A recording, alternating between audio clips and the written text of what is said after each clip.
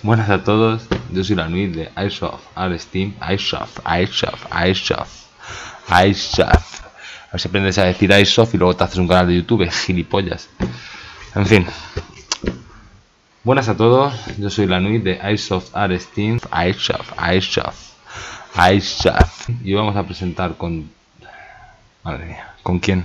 Si estás solo tú, te estás presentando a ti. Airsoft, Airsoft, Airsoft. En fin, buenas a todos, soy la Nuit de Airsoft Steam. Vamos a conocer el francotirador de Action Army ACC-T11. Vale, ACC no, AAC. Vale, mira chicos, es tontísimo este chaval, ¿eh? Buenas a todos, soy la Nuit de Airsoft Steam y vamos a conocer el francotirador de...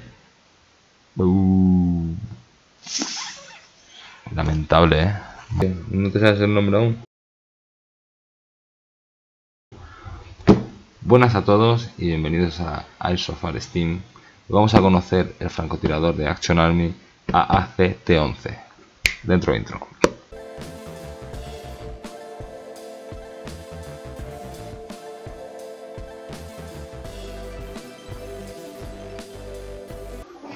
Bueno, ahora ya vamos a ponernos serios, vamos a hablar sobre el francotirador, ya que es una inversión de dinero que primero tenemos que conocer antes de hablar de ella y por qué este en especial que vamos a ver hoy es diferente al resto de la gama de Action Army. ¿Qué tiene que ver con los demás para que el precio sea tan bajo? Porque vale alrededor de unos 150 euros, ¿vale?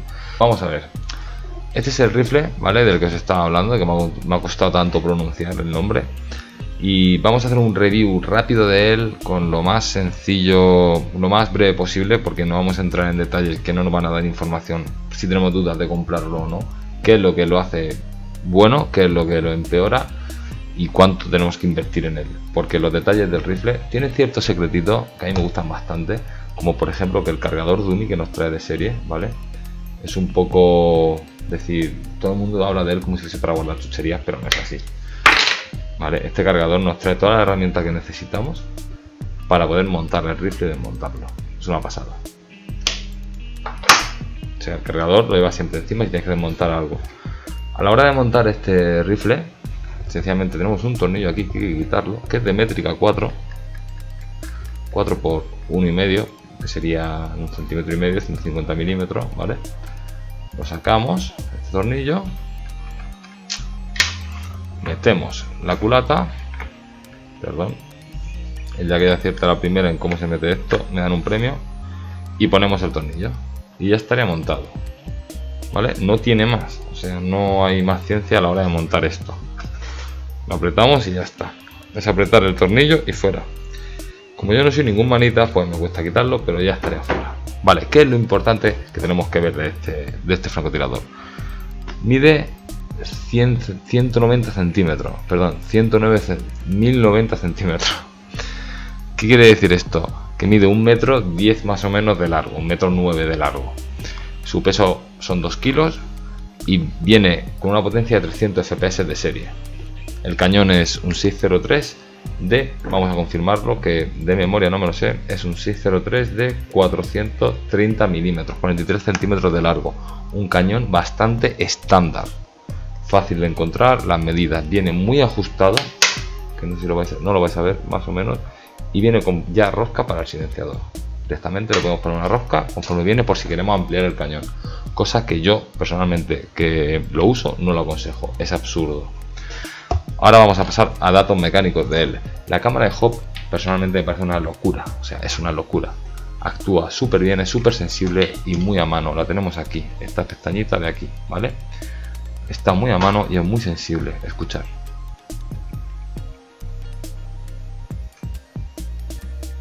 Es impresionante.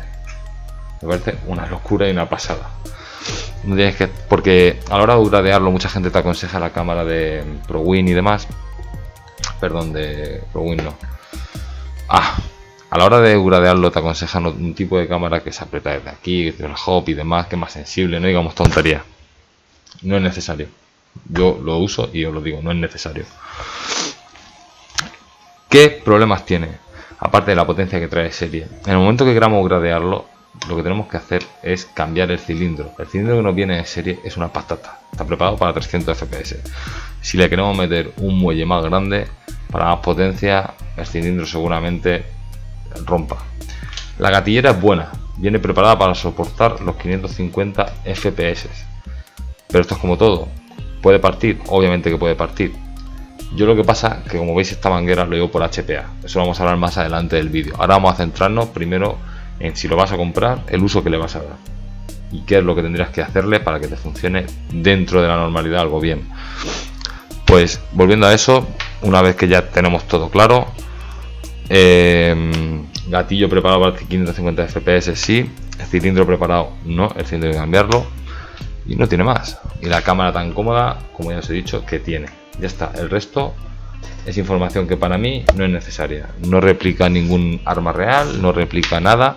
Tenemos los grips para poder ponerle el hípode, lo que necesitemos. Aquí también se le pueden poner más grip. Si queréis ponerle un lanzapepas, una linterna, lo que os dé la gana. Ahí yo no entro. Yo le voy a ponerle esto un lanzapepas aquí. ¿Vale? Es de metal el cañón y el resto plastiquete. ¿Vale? Eso es el gatillo bastante cómodo. Eso es lo que es el review. Ah, importante que se me olvidaba. El, cargador, al ser un modelo VSR, es de 50 bolas. ¿Vale? 50 disparos por cargador. Me parece una pasada. Llevas 4 y es que llevas para toda la mañana. Es impresionante. Y valen 8 euros cada uno. El precio de este rifle son 150 euros. Muy barato todo, muy económico y al alcance de casi todos. Digo casi todos porque cada uno tendrá sus limitaciones. Pero realmente está al alcance de todos. ¿Vale? Ahora os voy a hablar yo de mi experiencia. De cómo lo llevo yo preparado y qué servicio, qué, cómo me está trabajando esta máquina. Sencillamente es lo que estáis viendo aquí, que es una manguera de HPA. Lo hemos cambiado el interno, lo hemos vaciado todo y aquí no se ve todo vacío, ¿vale? Todo el conjunto de potencia está vacío. Absolutamente todo, no hay nada. Sencillamente hemos metido el kit de HPA, ¿vale? 100 euros. Estamos hablando que un kit de potencia para este francotirador son 150 euros, más o menos, porque lo estuve viendo también. O sea, me ha costado 50 euros menos. Alguno dirá, no, es que tienes que comprarte el HPA también. Sí, pero en el caso de que lo tengas, eso que te ahorras, son 50 euros que te ahorras. Y más que te sigues ahorrando. Porque yo la línea que utilizo no es una línea de HPA que nos venden en todos sitios. Esto es una línea que se utiliza para motores, aire acondicionados, con el reglamento UNE, que aguanta presiones superiores a las del HPA. Entonces están preparadas para esto. Esto lo compras en cualquier tienda de repuestos de coche. La que te dé la gana. Es un 4x1 se llama. Son 4 de espesor y uno de paso interno. Te sobra. Para el francotirador, bueno, realmente para lo que sea, porque también uso la pistola y te sobra. No necesitas la pedazo de línea así, que vale 50 euros. Esto vale 44 céntimos el metro. O sea, te puedes comprar 50 metros y de ahí te vas sacando líneas. Y las vas a tener para toda la vida. Yo realmente compré 2 metros y me he hecho la línea y si me hace falta más, pues la saco y punto. O sea que esto es una pasada y súper económico también, que al final es lo que tenemos que mirar. Seguimos. Altebar eh, HPA no me preocupa el gatillo ni el cilindro, directamente porque trabajamos con aire. Entonces el gatillo no tiene que soportar ningún tipo de tensión, no va a romper en la vida jamás. El que viene de serie lo soporta perfectamente porque es como si no llevaran nada. Básicamente lo único que hace es parar y cuando le das, abrir, ya está. No tiene que aguantar un muelle de 200 ni cosas raras. O sea que el gatillo no sufre, en la potencia no sufre nada, nada, nada, nada. Y es un kit de Minecraft económico y hace un trabajo espectacular. Los FPS, si es verdad le he pasado crono a 10 disparos y de cada 10 disparos a lo mejor uno o dos se me suben o se me bajan un poquito. Estamos hablando de una diferencia de 7 FPS, no estamos diciendo que no suba 20 y nos baje 20. O sea que para el precio que tiene, yo recomiendo. Lo único malo que ese, que ese mm, regulador de Minecraft no tiene para ponerle. De Minecraft no, coño. de Minecraft no tiene para ponerle la brida. Entonces a lo mejor algunos campos lo pueden echar para atrás. Pero tiene otras versiones que sí.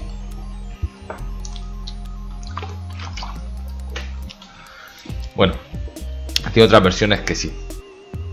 Lo siguiente es mirar el kit de precisión. El kit de precisión de serie, yo estoy disparando con 0.45 y dejo el regulador justo en 550 FPS. a llorar a la llorería, que alguno me dirá, pues ve un poquito más flojo, es que así le puede hacer daño a alguien.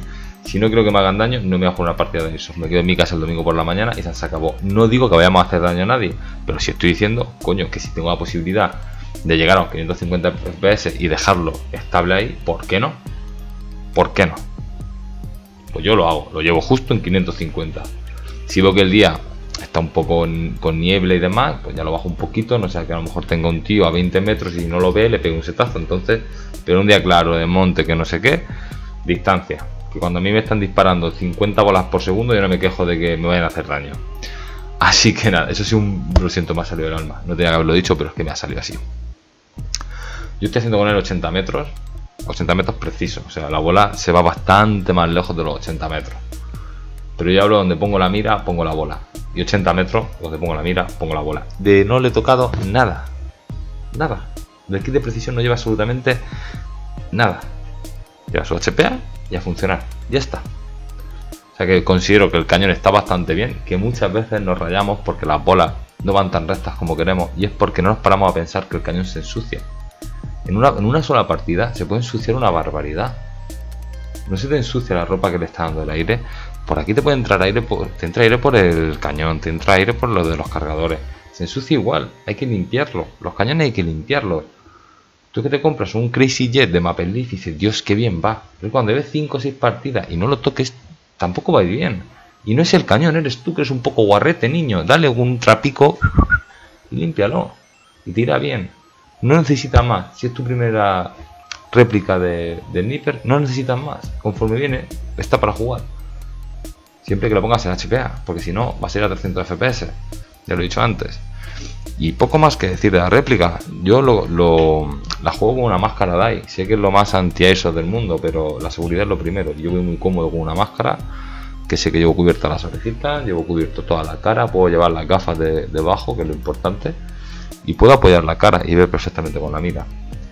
Entonces la verdad que yo para una réplica de primera vez, por decirlo así, que voy a jugar de Franco, que ya la he usado, estoy muy contento con ella, la recomiendo 100%, no soy ningún fanboy de ninguna marca. Y os lo digo que siempre y cuando metéis a HPA os va a ir bien, HPA no lo sé, así que mejor me callo. Y ahora solamente falta ver cómo envejece, que para este vídeo también. Para verme a mí más adelante y decir, dentro de un año o dos, decir, oye, pues mira, he envejecido así o así. Así que nada, muchas gracias por la chapa, por aguantar la chapa que me he metido y en el próximo vídeo vamos a vamos a ver la, la brecha de Barbie. Venga, va, una pequeña review que a esa le voy a dar, le voy a dar fuerte, le voy a dar fuerte porque hmm, me callo, no quiero adelantar nada.